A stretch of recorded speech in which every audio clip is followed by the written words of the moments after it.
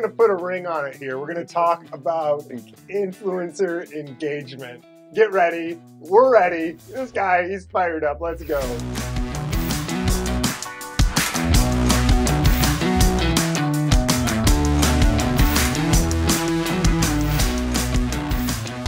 Hey, welcome to the Influencer Marketing Show. I am Joel. I'm Brad. We're coming at you from Detroit. What we're talking about today is what is influencer engagement? How do you measure it? How is it relevant? Does it matter? Should it drive any decisions whatsoever? That's what we've got for you. Does that mean we can't make any more bad engagement jokes? I feel like there's no chance that I have to prevent any more bad engagement Okay. jokes over the course Okay, of good. this. Stay tuned. Stay may or may tuned. not be happening. All right, level setting definition, as we always like to do. The engagement is very, very simply the ratio between views on a piece of content to some formulation of uh, likes, hearts, if you will, if that's your preferred nomenclature, um, shares. The way that we've done it internally, Audience activity. audience activity. Thank you. Yeah, comments, etc. The way that we we've done it is um, we we came up with basically somewhat arbitrary, um, but nonetheless uh, useful for us because the important thing is the Consistency. be consistent, have one Yeah. standard to be able to compare apples to apples, and so we would rate a um, you know a like gets a value of one. A uh, share gets a value of three, a comment gets a value of five, or something to that effect, where we're weighting, you know, a comment at, at, at 5x the value of a like, right? And then by doing that, we can basically look at any one piece of content, come up with our own internal engagement rate, and then judge the, the, the value of that. Now, why would we bother doing that? Why does engagement matter?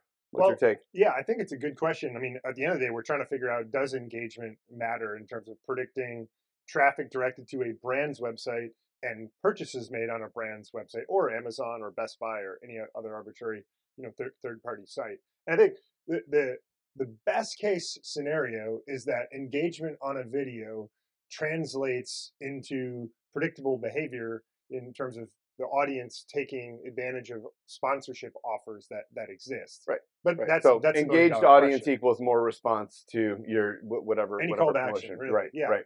So I mean, we, we could poke holes in that, but I, but I think maybe we, we we hold off on poking holes in it because that's that's a legitimate thing, right? If the audience really really is th- thinks the creator's content is is fantastic, always has something to say, it, it it's bears reason that that audience is going to be more likely to Right. take that recommendation from the creator as Right. well.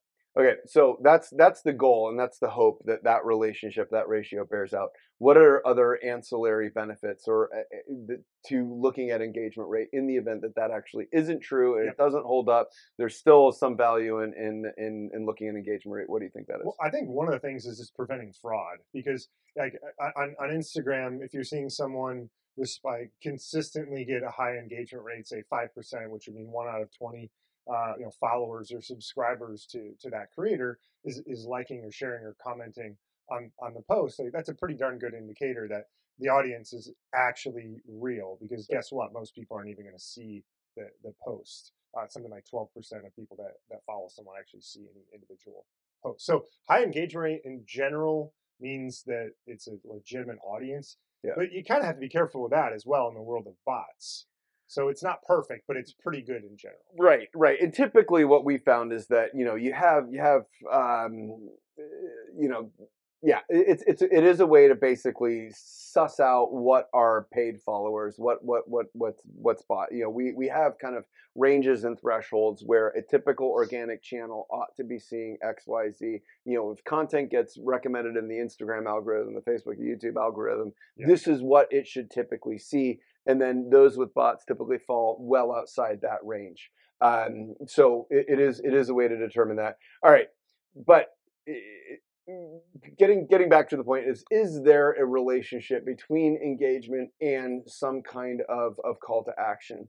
Um, what have we seen? And if that's not really determinative, what is a better metric that we actually think has a whole lot more predictive power? Well, I, I think there is a lukewarm relationship between those two. It's kind of like when you don't really want to marry someone, but you're not convinced the right answer is no.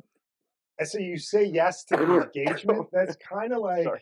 that's kind of like what, what what engagement is in terms of translating to uh, to an audience responding to to calls to action from from a brand. Right? Right. It's like it, it's there.